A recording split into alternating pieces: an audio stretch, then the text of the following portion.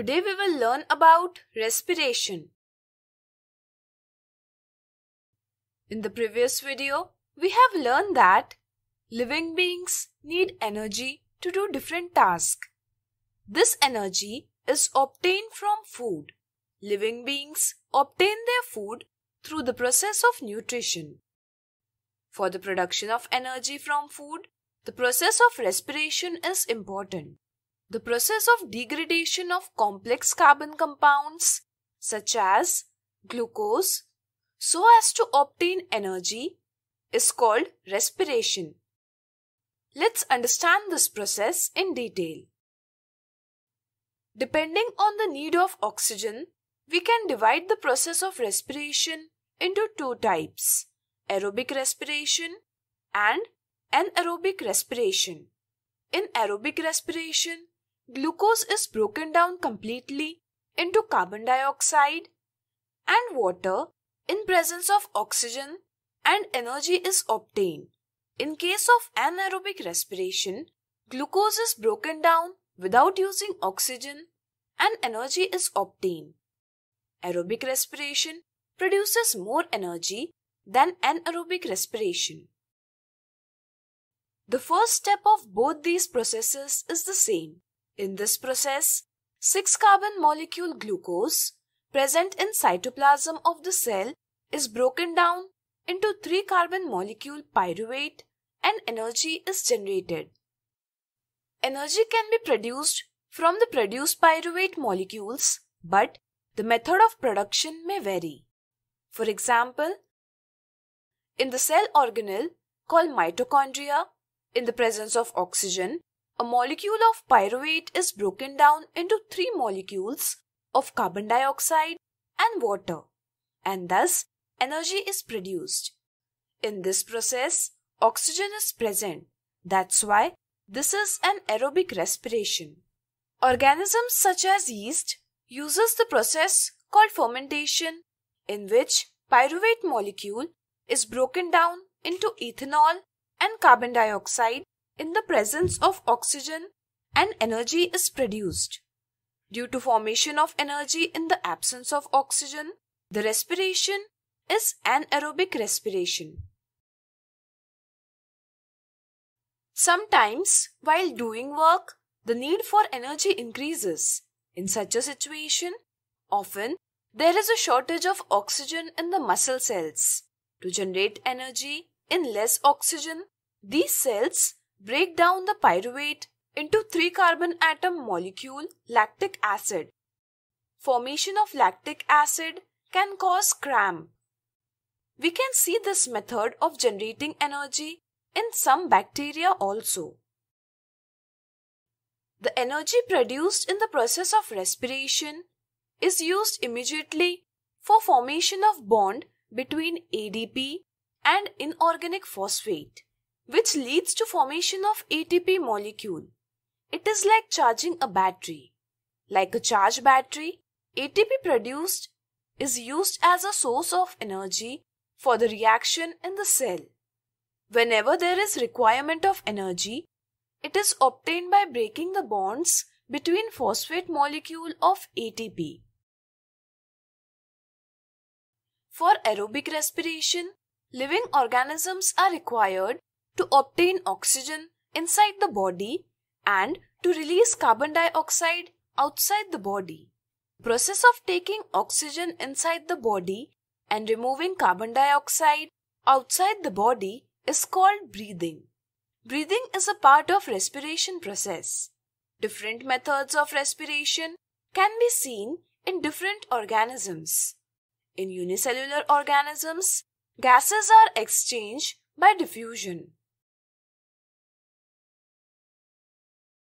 In plants, exchange of gases takes place through stomata. There is intercellular space in between the cells, due to which cells are in contact with air. They exchange carbon dioxide and oxygen by diffusion. Photosynthesis occurs during the day. Therefore, carbon dioxide produced in cell during respiration is used in photosynthesis. Therefore, oxygen is released from cells during the day.